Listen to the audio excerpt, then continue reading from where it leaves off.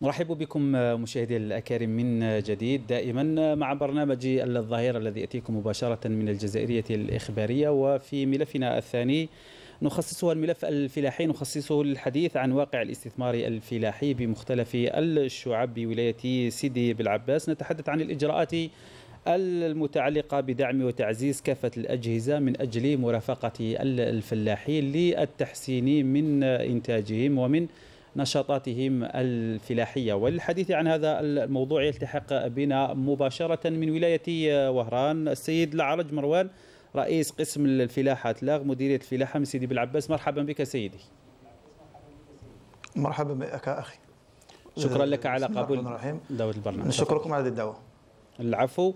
إذا نتحدث عن واقع الاستثمار الفلاحي بمختلف الشعب بولاية سيدي بالعباس. قبل أن نأتي إلى كل آه، شعبة بشكل منفرد ويعني إلى أين وصلت قضية الدعم والمرافقة. لو تضعنا في البداية يعني كسؤال آه، كلاسيكي نتكلم عن الواقع الفلاحي هناك بولاية سيدي بالعباس وإلى أين وصلت مسألة ربما تطوير الفلاحه ودعمها على مستوى الولاية؟ بسم الله الرحمن الرحيم. اولا آه، نشكركم على هذه الدعوة. العفو. آه ولايه سيدي بالعباس يعني هي ولاية على غرار الولايات الغربية معروفة بطبيعها الفلاحي المتنوع وطبيعة فلاحي نباتي أو حيواني. الدعم الفلاحي يعني على مستوى مديرية مصالح فلاحية أنها كغرار مديرية المصالح الاخرى أنها في مرافقة دائمة للفلاحين أو الموالين أو نعم. المستثمرين الفلاحيين على أرض الميدان. آه، ولايه سيدي بالعباس شهدت آه، في الآونة الأخيرة يعني خمس سنوات أو ست سنوات الأخيرة قفزة نوعية آه، في مجال الإنتاج النباتي في الحبوب أو على غير كل الشعب وفي المجال أيضا الإنتاج النباتي نعم. على غير إنتاج الحليب أو إنتاج اللحوم الحمراء أو البيضاء أو نعم. ولايه سيدي بالعباس يعني آه، راهي آه، تواكب العصر أو تواكب الوقت بطريقة سريعة. آه، هناك استغلال لأراضي استغلال لأراضي واسعة في مجال شعبة الأشجار المثمرة أو في شعبة الحبوب. جميل جدا. نعم قبل أن نواصل النقاش سيد مروان أدعوك وأدعو المشاهد الكريم لمتابعة هذا الروبورتاج للزميل سفيان مقنين بعد ذلك أنا في ظل شح الأمطار وتراجع معدلات التساقط في ولاية سيدي بلعباس صار لزاما على الفلاحين التوجه إلى اعتماد تقنيات جديدة لاقتصاد الماء حيث يتم رش المحاصيل وسقي الأشجار عبر أنابيب التقطير كما يفعل الفلاح زبلاح أحمد في بلدية زروالة عندي عندي 3000 زيتون 15 قطار زيتون هنا. زيد زادت كل الرشاش والكوطاكوت زاد دعمتنا الدولة فيه. ورانا نخدموا فيه. زاد غرسنا الكوزه هذه كيما الشجره نديروا لها الكوطاكوت بالقطرة. كيما الكوزه ولا ما عندكش كي دير لها ديروا لها الرشاش. يستحفظ على الماء. تسمى نعطوها كيما نقولوا خمس سوايع خمس سوايع صاي. شبعت هذيك ورانا نتمشوا معاها. المصالح الفلاحية للولاية تحرص على توعية الفلاحين بضرورة استعمال هذه التقنيات لتوسيع المساحة المزروعة ورفع مردودية المحاصيل. أي فلاح يقدم لنا الملف تاعه باه يدي هذا الدعم تاع كيما نقولوا إحنا اقتصاد الماء l'économie d'eau إحنا أي فلاح واحد يجينا قال السؤال الأول عندك الماء. كي يكون عنده الماء صي. عنده الحق باه يدي الرشاش ويدي الموتور. تاع البومبا la pompe immergée اللي كان عندها الضوء اللي ما عندهاش الضوء يدي بومبا عاديه والحاسي الحاسي اللي عنده واحد قديم. تبارك الله ما عاد يبغي يجيب هذيك ال décision التالية اللي يعطيها لهم يعطوها للسيد الوالي. ثاني ندعموه 8000 دينار في ال mètre linéaire. العمل الدؤوب المقترن باستعمال وسائل الري المستدامة. سيمكن الفلاح في ولاية سيدي بالعباس من تجاوز إشكالية شح المياه عن طريق عقلنة طرق استعمالها.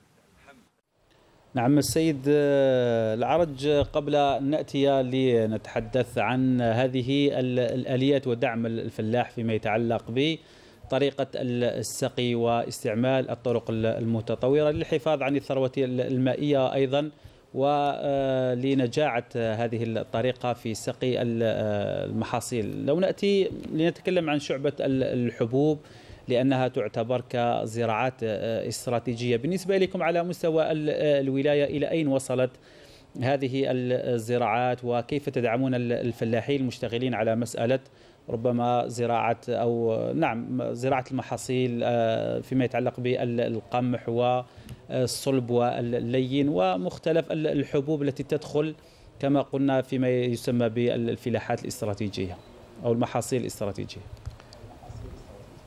نعم أخي. زراعة الحبوب هي زراعة استراتيجية يعني وراهي تلقات يعني في الأعوام الأخيرة على مستوى ولايه سيدي بالعباس قد دعم كبير من جانب الدولة في مجال السقي يعني بالرشاش أو السقي بالقطاقوت للأشجار المثمرة أو للخضروات. شعبة الحبوب هي شعبة يعني على كما يعني يعرف الجميع أنه في السنوات ثلاث سنوات أو أربع سنوات الأخيرة رانا نشاهدوا شح أمطار. نعم. شح أمطار يعني نسبة نسبة الأمطار المتساقطة راهي ناقصة بزاف وما تسمع وما تناسبش يعني اللي تكون عندنا مردود أو إنتاج كبير في الحبوب. في في إنتاج الحبوب لهذا يعني آه، رحنا لطريقه أخرى أنه السقي آه، بالرشاش يعني باش يعني الكمية المياه الجوفية تكون فيها حسن استغلال من طرف الفلاح يعني أو بالقوطاقوت يعني قطرة قطرة لهذا الشيء باش يكون عندنا أيضا منتوج جيد للحبوب. نعم. هنا دعم الدولة يعني راه مستمر ومكثف خلال خلال السنوات الماضية أو هذه السنة حيث سجلنا يعني في سنة 2021 دعم للفلاحين في مجال الرشاش يعني 1866 رشاش. نعم. هذا مدعم للفلاحين بمساحة أكثر من 5500 هكتار مسقية في 2021 في 2022 يعني الملفات راهي مدروس راهي على قيد الدراسة وعلى كل المقاطعات الفلاحية على مستوى الولاية. يعني آه، هنا الفلاح كل فلاح يمتلك بئر أو يريد حفر بئر عميق يعني يتقدم بملفه أو بطلب بتاعه على مستوى المقاطعات على مستوى المديرية. ويتم دراسته ودراسة الملف بشكل كامل على مستوى المديرية آه، نعم. من طرف اللجنة المختصة ويتمشى يعني الملف تاعو عادي أما آه، بالنسبة لشعبة الأشجار المثمره أو عندهم القوطاقوت أيضا السيد العرج قبل أن نأتي إلى اسمعوا لي السيد العرج قبل أن نأتي نعم. إلى مسألة الأشجار المثمرة فقط فيما يتعلق بالمحاصيل الزراعية فيما يتعلق كما قلنا المحاصيل الاستراتيجية. هل فيه مساحات تتوسع على مستوى الولاية؟ وفيه مساحات أخرى تدخل حيز الاستغلال لأنه فيه دعم للفلاح وتوسيع مساحة المحاصيل أم أنه فيه يعني ربما انحسار كما قلت لأسباب التي نعرفها جميعا فيما يتعلق بالأسباب البيئية على كل حال؟ لا المساحة المسقية يعني هي في توسع. المساحة المسقية هي في توسع. أه نعطيك اكزومبل يعني par rapport l'année passée العام اللي فات la campagne 2021 كانت عندنا أه 6500 هكتار مسقية. لهذه السنة يعني رانا في mois de mars رانا عندنا يعني un objectif تاع 900 هكتار ورانا لاحقين هذا ال mois de mars 6550 هكتار هذه مسقية. ولكن راهي في تطور. المشكل هنا المشكل عندنا مشكل يعني نتاع حفر آبار. نعم. هناك منخرطين يعني هناك منخرطين فلاحين يحبوا يعني يحفروا آبار ولكن بدون رخصة ما عندهمش رخصة. والرخصة يعني رخصة حفر الابار راهي يعني تدي وقت وقت طويل باش يعني الفلاح يقدر يقدر يحفر بئر ومن بعد هذاك يستفيد من الرشاش ويدخل في النظام السقي. نعم. لهذا الشكل. يعني آه قلت لك هذا هذا هذا السنة 2021 كان فيه دعم ل 364 آه فلاح 364 فلاح منها يعني مساحة مسقية اللي راح تسقى بالرشاش آه، بالنسبة للحبوب عندنا 5500 هكتار بالنسبة نعم. للرش للحبوب ما هي الأكثر المحاصيل التي تنتجها الولاية وتحقق فيها يعني آه، إنتاج آه، معتبر فيما يتعلق بالمحاصيل. هل فيها أيضا الانفتاح على المحاصيل أو نعم التي تتوجه إلى يعني المحاصيل التحويلية أو المنتوجات التحويلية على مستوى الولاية؟ نعم عد عندنا إنه هذا العام يعني هذا العام بالخصوص عندنا زراعة استراتيجية اللي هي كولزا السلجم الزيتي. اللي قمنا بها في ولاية سيدي بن عباس منخرطين عندنا 17 فلاح يعني هذه من صناعه تحويلية. 17 نعم. فلاح اللي دار الكولزا يعني السلجم الزيتي بمساحة يعني تفوق 160 هكتار. ولكن عندنا صناعات أخرى تحويلية مثل الطماطم ثاني زراعة الطماطم اللي تروح صناعة تحويلية. عندنا آه، عندنا عندنا عندنا يعني القمح بنوعية هل يعني فيه إنتاج يعني لا إنتاج معتبر؟ إنتاج معتبر بيان سور إنتاج معتبر يعني يفوق, يفوق يعني سنويا يفوق 15000 أو 20000 قنطار. نعم. يعني هذه زراعة الزراعه اللي تروح التحويليه ليس نعم. الطماطم يعني المستهلكة اللي تروح الصناعة التحويلية. نعم. آه، فيما يتعلق ب كنت تود الحديث أيضا عن أيضا شعبة مهمة جدا هي قضية ربما المحاصيل المتعلقه بالأشجار المثمرة أيضا فيه دعم للفلاح من حيث ربما الأشجار في حد آه، ذاتها من حيث المرافقة للفلاح عن طريق آه، الدعم الذي يعني نتابعه هذه الأيام فيما يتعلق بالمعدات. لو نتحدث أيضا عن هذه الشعبة على مستوى ولاية سيدي بالعباس إلى أين وصلت السيد العرج؟ آه، شعبة الأشجار المثمرة يعني هي عرفت يعني قفزة نوعية في الآونة الأخيرة. آه، ولاية العباس كانت محصورة يعني على شعبة آه، يعني على غرس أشجار الزيتون. ولكن الآن يعني عندنا عندنا كل كل الأشجار المثمرة يعني مستغلة ومغروسه على مستوى الولاية مثل التفاح مثل يعني الخوخ أشجار الخوخ مثل أشجار المشماش آه، أشجار اللوز يعني كل هذه كل هذه الأشجار أشجار مثمرة راهي آه، تلقى مرافقة آه، من طرف المديريه المصالح الفلاحيه هنا والدعم يعني هناك دعم خاص للاشجار المثمرة اللي هو دعم السقي بالقوطاقوت نعم. بالتقطير هذا من أجل قلت لك إرشاد ترشيد المياه الجوفية لأنه هي منسوب المياه الجوفية راهي في تناقص يعني سنوي كل عام راهنا في تناقص منذ ثلاث سنوات أو أربع سنوات أخيرة لهذا راحت الدولة إلى آه، الدعم الاشجار آه، المثمره بالسقي بالتقطير. نعم. أين أيضا تكمن المرافقة بالنسبة لهؤلاء؟ لأنه عادة ما للأسف يعني هذه الأشجار تتعرض بعض الأحيان لبعض الأمراض بعض الأحيان أيضا لخسائر بيئية. سنأتي لنتكلم عن مسألة التأمين. يعني أين لا تكمن المرافقة من طرف مصالحكم لهؤلاء؟ سواء خاصة إذا كانوا شباب يودون الاستثمار في هذا الجانب المتعلق بالأشجار المثمرة السيد العرج. مديريه مصالح الفلاحه يعني ترافق الفلاح في كل الشعب وخاصة شعبة الأشجار المثمرة. آه، ترافقهم من حيث آه، أوقات الغرس أو كيفية غرس هذه الأشجار. أما عن طريق يعني بالنسبة للأمراض أمراض هناك مصلحة حماية النباتات حمايه النباتات من الأمراض يعني على مستوى المديرية. تتنقل على مستوى المستثمرات الفلاحيه هذه اللي تستثمر في الاشجار المثمرة وترافقهم وتشوف هذه الأمراض وتعطيهم كل النصائح والإرشادات. نعم ما هي ربما الأشجار المثمرة أو المنتوج الذي تعتبر سيدي بالعباس يعني رائدة فيه أو تحقق فيه يعني إنتاج آه، لا بأس به؟ تسمعوني السيد العرج؟ نعم نعم الأجر الاجر مثمر أجر مثمرة يعني راهي تتمد يعني آه، إنتاج لا بأس به لأنه هناك استغلال من طرف الفلاحين المثمرين بشكل لائق. يعني يقوم بالتسميد يقوم بالتعشيب يقوم بحمايه حمايتها من الأمراض يعني بالادويه يعني بيان سور يكون عنده آه، يكون عنده يعني منتوج جيد.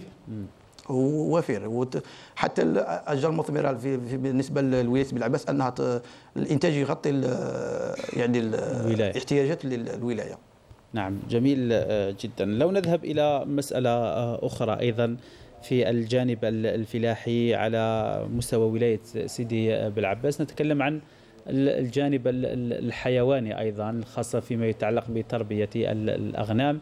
لو تضعنا في صورة هذه الشعبة سيد العرج بالنسبة للانتاج النباتي الانتاج الحيواني يعني الانتاج الحيواني راه يعاني من جهة يعاني من جهة ومن جهة هناك إنتاج. يعني عندنا إنتاج حيواني عندنا الأبقار عندنا البرودكسيون لي يعني الإنتاج الحليب عندنا إنتاج الأغنام تربية الأغنام من أجل إنتاج اللحوم الحمراء وعندنا حتى اللحوم البيضاء بالنسبة للدجاج. بالنسبة للإنتاج الحيواني في في هذه السنوات الاخيره يعني كنا نعرف انه هناك نقص في الأعلاف ونقص في في ارتفاع أسعار الأعلاف أيضا. يعني كانت عندنا مبادرة جيدة من طرف فلاحه يعني من ولاية سيدي بالعباس اللي دارت يعني دارت استثمار في مجال الأعلاف هو هو ال maïs d'ensilage. ال maïs d'ensilage يعني أعلاف خضراء نعم آه تستهلك على مستوى بالنسبة للأبقار. من أجل إنتاج الحليب. ولكن في هذا تبقى في تناقص يعني عدد الاغنام راه في تناقص وعدد آه هذاك اللي شح الأعلاف وشح الأمطار وعدم قدرة الفلاحين أو الموالين آه، ب آه، يعني تكلفة تكلفة باهظة راهم يقوموا بها باش يعني يوفروا الأعلاف للأغنام. دوك معظم الأغنام راه في تناقص. هل فيه يعني آه، دعم ربما لوقف هذا النزيف وتخلي أصحاب هذه المهنة عن نشاطهم خاصة فيما يتعلق بتربية الأنعام بصفة عامة سواء الأبقار أو يعني الغنم؟ هل فيه دعم؟ هل فيه يعني خرجات آه، ميدانية للاحتكاك بهؤلاء ومحاولة تذليل هذه الصعوبات؟ نعم هناك مرافقة يعني المرافقة من طرف المصالح الفلاحية مرافقة دائمة بالنسبة للفلاحين أو الموالين.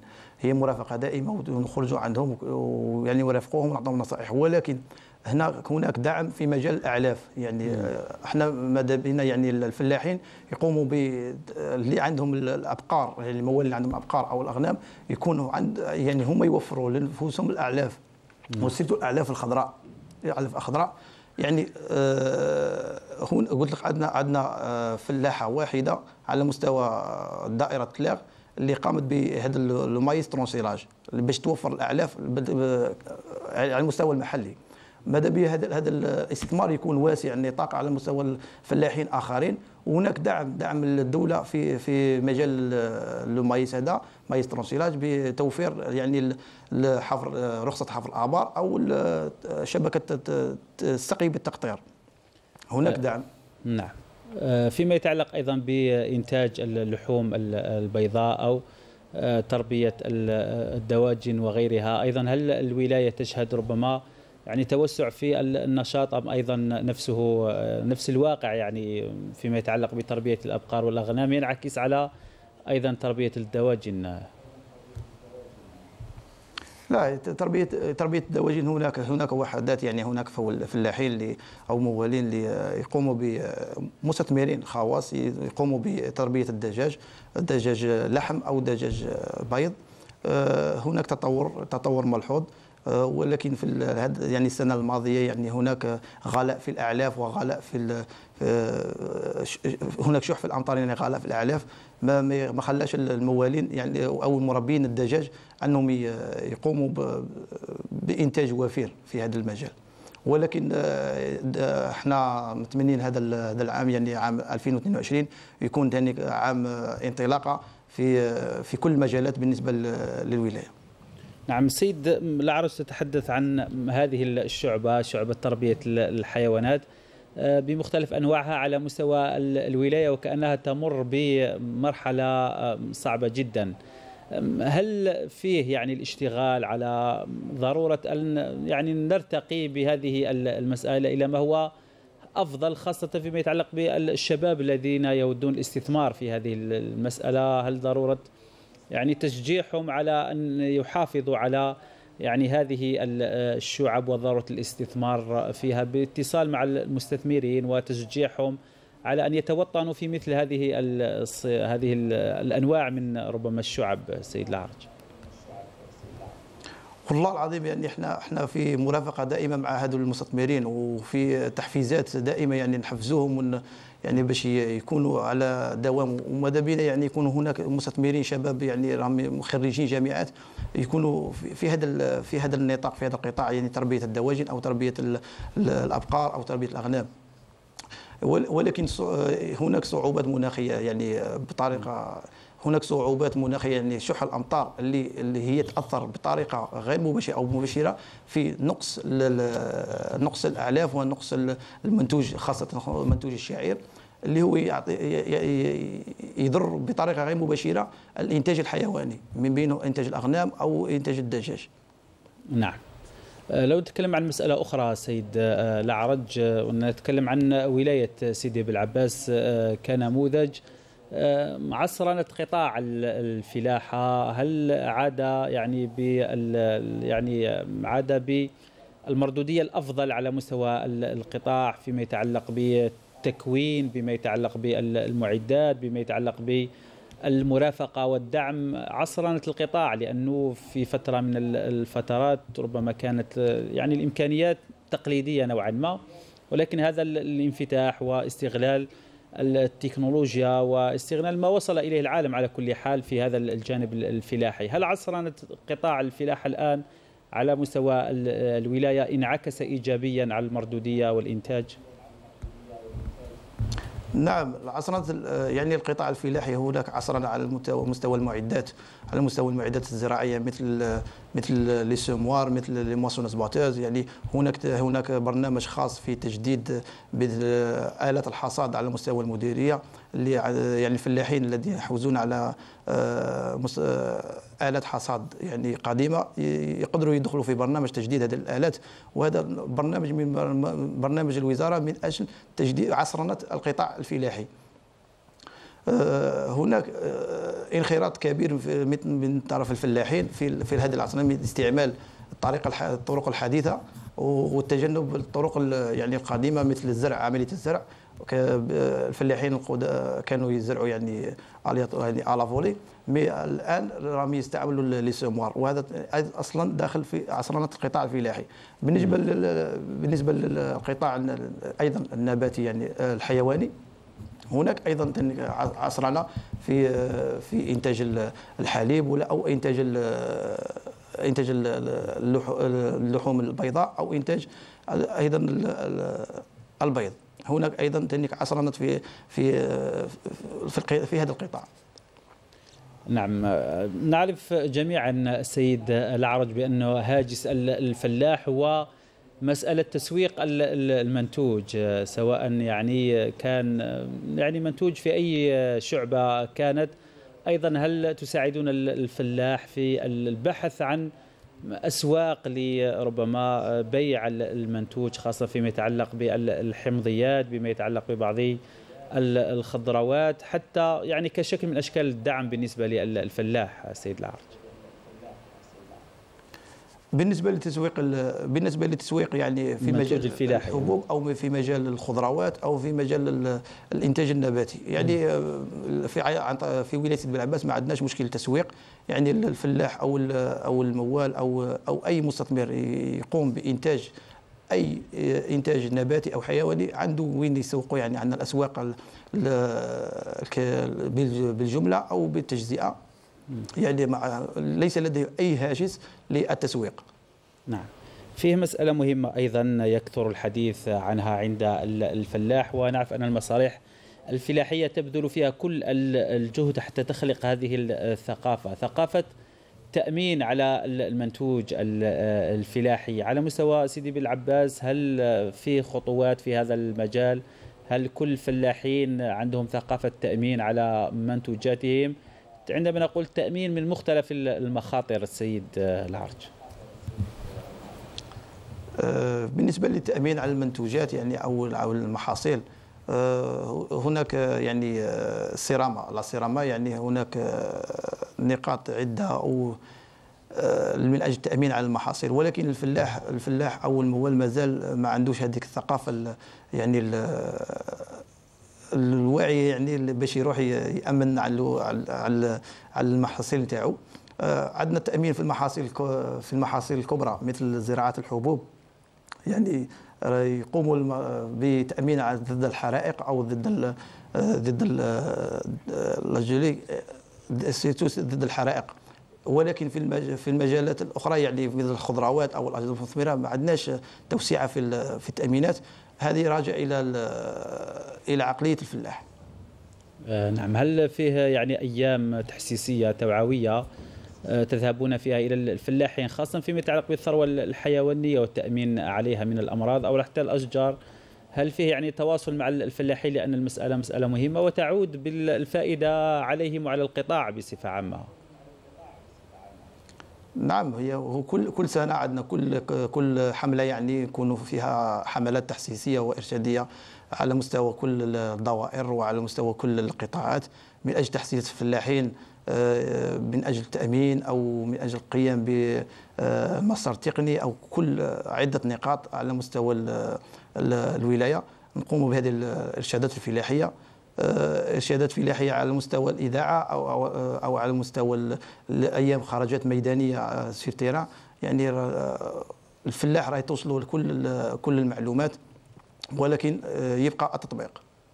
نعم توجد مسألة أخرى سيد العرج هو يعني بالنسبة لبعض الفلاحين الذين يستغلون قطع يعني أراضي ولكن بدون سند أو بدون وثائق ودائما ما يخافون يعني يشتغلون ولكن دائما هاجس الخوف وعدم الطمأنينة.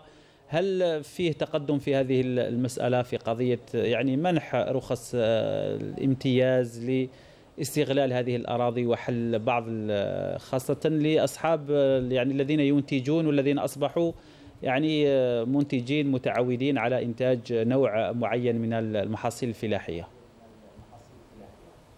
بالنسبة لهذه النقطة يعني على كل كل سنة يعني نواجه هذه النقطة. يعني هناك فلاحين يعني ما عندهمش سندات أو ما عندهمش وثائق ولكن هم منتجين لهذه الأراضي نعم. أو يعني يقدموا إنتاج وفير. هنا هناك لجنة محلية آه، قام مدير مصالح فلاحية بتنصيبها في أول سبتمبر من كل سنة. يعني تقوم هذه اللجنة ب آه، الخروج إلى إلى الميدان والخروج عند الفلاح هذا. ويعني معاينة الأرض ومعاينه المنتوج وقيام بمحضر معاينه من أجل استخدامه في آه، استخراج البذور أو استخراج الأسمدة أو استخراج كل أو دفع منتوجهم إلى التعاونيات أو كل ما يدور في إنتاج هذه الحبوب. يعني من هذا المشكل مع على مستوى ولاية سيدي بالعباس ما عندنا حتى فلاح يعني عنده مشكل في إنتاج أو استناد أو في هذا المشكل ولكن يبقى يبقى لنا مشكل يعني آه، الاراضي الأراضي اللي إحنا نسموها في ولايه سيدي العباس بأراضي آه، العرش العرش على جنوب الولاية. هذه يعني آه، ما عندهم حتى استناد إحنا نوافقهم ولكن مدى نداء إلى مصالح العقار أنهم يقوموا بمبادرة لتسوية هذه هذه القطاعات لأنه كل كل عام فيها فيها فيه مشاكل مع الفلاحين. نعم السيد العرج في كلمة آه، ختامية لربما كل الفلاحين على مستوى سيدي بالعباس حتى يعني من باب التشجيع على ضرورة الاستثمار والمحافظة على نشاطهم باختصار رجاء آه، كلمة ختامية نوجه نداء للفلاحين واننا الإدارة مفتوحة الإدارة مفتوحة بالنسبة لمديريه مصالح فلاحية لولاية سيدي بالعباس إن شاء الله بربي هذا العام يكون عام تحدي عام إن شاء إنتاج الله. وعام خاصة في مجال الحبوب إن شاء الله بالنسبة للقمح الصلب أو القمح اللين أو الشعير